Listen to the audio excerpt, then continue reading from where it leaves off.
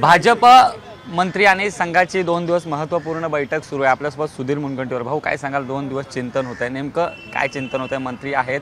राष्ट्रीय स्वयंसेवक संघाचे कार्यकर्ते देखील इथे उपस्थित आहेत. नाही चिंतन हे तेरा वैभव अमर रहे मा हमदीन चार रहेणार आहे आम्ही देशासाठी राष्ट्रासाठी समर्पित भावनेनी एक भारत श्रेष्ठ भारत यामध्ये आम्ही काय योगदान देऊ शकतो?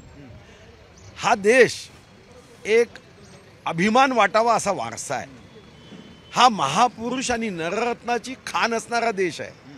या देशामध्ये चिंतक आहे. या देशामध्ये आध्यात्मिक विचार आहे. या देशामध्ये जिओ और जिनेद्यूची शिकवणूक आहे. हम साथ साथ ह्याची भावना आहे. वसुधैव कुटुंबकम ही भावना आहे. जगाचा विश्वगुरू बन बनण्याची क्षमता आहे. पण यावर आम्ही काय योगदान देऊ शकतो? नमो मातृभूमी जिथे जन्मभूमी नमो आर्यभूमी जिथे वाढगोमी नमो पुण्यभूमी जियेचाच कामी पडोदेव माझा सदा ती नमी मी. या भावनेनी यामध्ये चिंतन मंथन चर्चा संवाद होते. भाऊ चिंतन तर झालेलं आहे. आज संध्याकाळी कोर कोअर कमिटीची बैठक आहे. नेमके काय मुद्दे असणार आहे कारण आपण बघतो काल केंद्राने बजेट मांडलं. त्यावरून देखील विरोधक कुठेतरी टीका करत आहेत. आता बजेट लोकांपर्यंत पोहोचवण्याची जबाबदारी खऱ्या अर्थाने तुमच्याकडे असेल नारायण राणे असतील भागवत कराड यांच्याकडे दिली असेल. कशा पद्धतीने लोकसभा मतदारसंघात हे सगळं बजेट प्रयत्न ना आम्ही पोहोचवणार आहोत कारण अर्थसंकल्प हा एक दिवसाचा उत्सव नाही.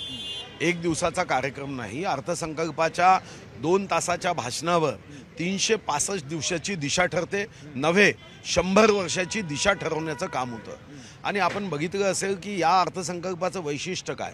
तर हा अमृतकाळाचा पहिला वर्ष आहे. पुढचे पं पंचवीस वर्ष शताब्दीपर्यंत आपण अमृतकाळ साजरा करतोय ज्या अमृतकाळामध्ये भयमुक्त भारत भूकमुक्त भारत आतंकमुक्त भारत नक्षलमुक्त भारत विषमतामुक्त भारत रोजगारयुक्त भारत आनंदयुक्त भारत सुखयुक्त भारत समाधानयुक्त भारत समरसतायुक्त भारत यावर आपण फोकस केला आहे मग अशा प्रसंगामध्ये जे साधारणतः निर्णय होतात त्या निर्णयाची अंमलबजावणी योग्य पद्धतीने होणे दिल्लीच्या बजेटमध्ये झालेल्या निर्णयाच्या माध्यमातून महाराष्ट्राच्या प्रगतीमध्ये आपण कोणते कोणते उपक्रम करू शकतो? काय कार्यक्रमाचं नियोजन करू शकतो? काय आर्थिक नियोजन करू शकतो? कोणत्या योजना यशस्वीपणे सामान्य लोकांच्या कल्याणाच्या पोचवू शकतो? यावर या बजेटची माहिती सर्वसामान्यांपर्यंत पोहोचवणे लोकशाहीमध्ये त्यांचा खरा अधिकार आहे. आम्ही सर्व त्यांचे सेवक आहोत या भावनेनी हे बजेट या बजेटच्या तरतुदी यामधल्या योजना आणि त्याच्या अंमलबजावणीसाठी एक अतिशय उत्तम शृंखला तयार करणे यासाठी आम्ही काम करणार. भाऊ नवीन राज्यगीत देखील आता तुम तुमच्याच विभागाने निर्णय घेतला मात्र त्यावरून आता सुभाष देसाई म्हणतात दिल्लीचेही तख्त राखतो महाराष्ट्र माझा हे म्हणावं लागू नये म्हणून त्यातून ओळ कदाचित काढण्यात आली असेल असं सुभाष देसाई म्हणतात. आता खरं तर राजकीय क्षेत्रामध्ये सुद्धा शिक्षणाची आवश्यकता जाणवते आहे सुभाष देसाई जी माझे मोठे बंधू आहे. माझ्यासाठी आदरणीय व्यक्तिमत्व आहे. पण कधी कधी असं वाटतं की कौरा कवराकडून रडणारे जे ज्ञानी लोक होते ना ते सुद्धा अशाच पद्धतीने सत्ता भ्रष्ट झाले होते. जेव्हा दिल्लीचेही तक्त राखतो महाराष्ट्र माझा हे तर राज्यगीतामध्ये आहे. पण असा अपसमज पसरवायचा हा एक महाराष्ट्र द्रोह नाहीये का? हा महाराष्ट्र द्रोह नाहीये. अफवा पसरवायची खोटी माहिती पसरवायची. महाराष्ट्राचा अवमान करायचा राज्यगीताचा अवमान करायचा. आता यावर ते माझे ज्येष्ठ बंधू आहे. मग एवढंच लहान भाऊ म्हणून सांगावंसं वाटतं की सुभाष भाऊ तुमचं नाव सुभाष आहे. कमीत कमी अभ्यास करून एवढे वर्ष तुम्ही नेते राहिलात. राज्यगीताची माहिती न घेता कमीत कमी असे इतर जे लोक आहे फक्त विरोधासाठी विरोध करणारे त्यांनी टीका केली तर मी समजू शकतो. पण सुभाष भाऊसारख्या मला एका आवडणाऱ्या नेत्यांनी अशी टीका करणं याचं मला खूप दुःख होते की ती लाईन कमी केलीच नाही. अरे ते तर महाराष्ट्राचं तत्व आहे.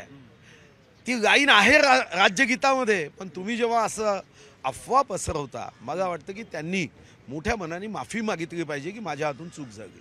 भाऊ बुलेट ट्रेनला उद्धव ठाकरेंमुळे उशीर झाला आहे. असं विधान जे आहे ते रेल्वे मंत्र्यांनी केलंय. त्या विधानाकडे कसं बघता केलं पण मी त्या विधानाकडे काय बघेन? रेल्वे मंत्र्यांना जास्तीची माहिती आहे त्यांनी सांगितलं. पण असं वाटतंय का उद्धव ठाकरेंच्या काळातच सगळं उशीर झालेला आहे बुलेट ट्रेन नाही तर मार्गी लागली नाही मला वाटायचा प्रश्न नाही सत्य फाईव्हमध्ये आहे. जे सत्य रेल्वे मंत्र्यांनी सांगितलं ते तर त्यांच्या अनुभवाच्या फाईल वाचण्याच्या याच्यावरून सांगितलं. मला कसं माहीत राहील? मी ती फाईलही वाचत नाही. माझ्याकडे त्या संदर्भात का कागदही येत नाही.